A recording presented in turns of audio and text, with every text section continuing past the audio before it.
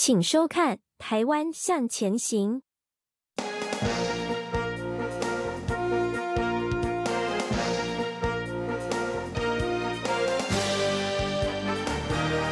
欢迎收看《台湾向前行》，台湾向前行，我是梦琪。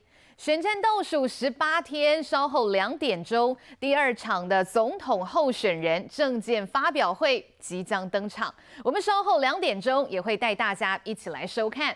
好，这一回赖侯科三个人再度交锋。上一回合，我们非常明显的感受到，其实这个蓝绿的攻防是非常激烈的，而柯文哲则是中规中矩，比较没有炮火的阿贝。听说这一回要改变战略喽。科办今天早上透露，柯文哲这次不排除主动攻击。好，打选战确实要有攻有守，但是，一旦打过头，很有可能会收到反效果。好，蓝营狂打赖清德万里老家就是一个例子。我们看到的是最新出炉的美丽岛电子报的民调，赖清德来到百分之三十八点九，而侯康佩本来是一度紧咬哦，结果现在已经被甩开了，支持度跌破三成，只有百分之二十九点四，大幅落后赖萧佩将近十个百分点。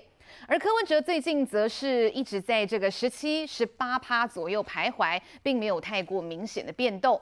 好，那么今天三组候选人的房地产问题，包括赖清德万里老家、洪友谊家族的凯旋苑，还有柯文哲农地停车场，会不会成为三方搏火的重点呢？我们稍后一起来观察。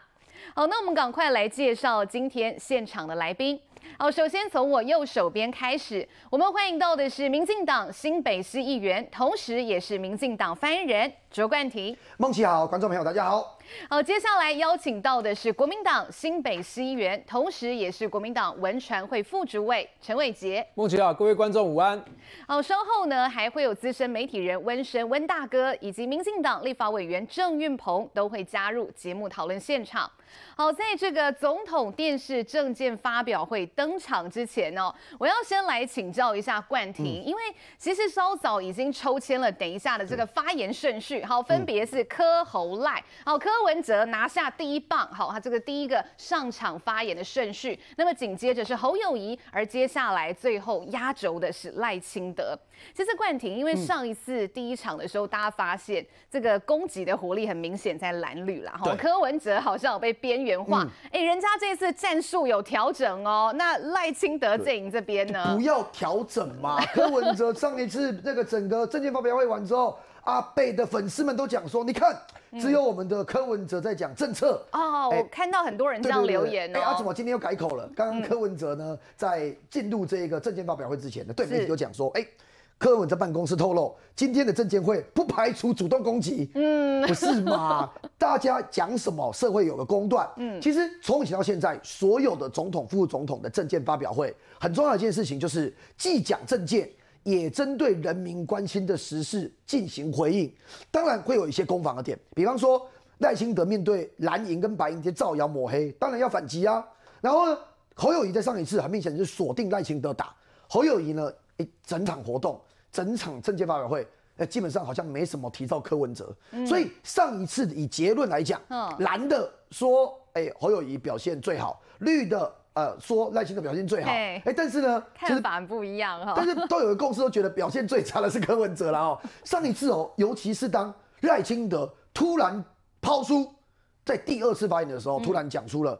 这个万里的公寮，这个老家被政治操作到极点，这个老家愿意进行公益信托的时候，接到柯文哲一讲话，很明显柯文哲方寸大乱。嗯，他完全没有回，不知道怎么回应了。然后呢，呃，当另进一步耐心的问说：“那柯文哲，你的这个违法的农地，嗯，租给别人在停车场，钱要不要捐出来？嗯，你这个土地要不要吐出来？哦，直接攻击下去的时候。”柯文哲是无法招架的，所以这也才为什么刚刚柯文哲的办公室对媒体讲说，我们不排除主动攻击啊，但是还是以政见为主。这就代表说上一次的策略来说，柯文哲他在这整场辩论会上是并没有得分。嗯，那这第二个我要讲一下，因为辩论会嘛，一一定或者是所谓的政见发表会，对于现状一定会有一些影响。我讲的现状是什么？其实是民调。嗯，呃，最近最新的民调发现一个状况：当赖清德在上一次的电视政见报表会完了之后，我们整体的团队或者是我们的支持者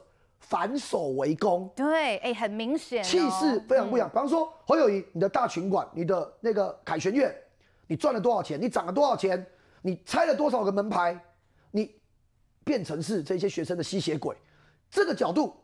哎，你看到这个攻防状况，我们反手为攻，赵少康就回了一堆让整个蓝营大失分的话嘛。我说真的，本来侯友的回法，我觉得大家各有评论。侯友谊要回，呃，这是娘家的事啊，市场机制，这大家可以讨论，可以攻防。可赵少康讲，民进党要负责。哎，民进党编租金补贴，天哪，一个国民党的总统、副总统参选人，居然是叫呃民进党要编租金补贴。啊，后来又有说柏林乡规定的不要租了，就不要。后来直接讲，你就不要租了。可是，所有台北市的朋友或是新北有家人、亲戚、小孩读文化大学，都知道市场的供需是不一样的。它是一个供给方的市场，因为大家住在文化大学附近的房子是很少的，所以很多人如果租不到或租金负担不起，就骑养德大道摩托车下来到士林站建潭站附近租屋。嗯，每天早上你看最近那么冷，要骑车，然后危险的经过养德大道，所以这个东西就是攻防的重点。然后也让蓝营在最近失分，所以最近看到一个趋势，就是说赖清德的民调缓步的往上。我先讲为什么讲缓步，当然没有到很快，可是我们慢慢的现在，呃，以美丽岛今天最新的民调逼近四成，对我们来讲，如果我们可以站稳四成，我们当然就觉得我们赢的几率就比较高。嗯，所以我们继续在努力。那侯友谊哦，居然在最近赖清德反手围攻之后，民调居然像是那个倒 V 字的方式这样子开始往下，嗯，下降。啊，柯文哲是比较一致了哈，柯文哲就是维持在不到两成的状态。所以我觉得今天的证件发表会是，既然柯文哲想要反手为攻，我们就看看他到底能怎么攻。那我相信赖清德也做好准备啊，侯友谊也不是吃素的。好，我们看到这一次哈，柯文哲早上主动透露，他不排除会主动攻击哦。那刚才也有跟大家讲哈，稍后登场的这个第二轮的证件发表会呢，首先抽到第一个上场来发言的是柯文哲。好，那么呢，侯友谊是第二。好，那最后上场的则是赖清德。而至于呢，今天三位好三位主帅上场会各有什么样的战略，大家拭目以待。那我们现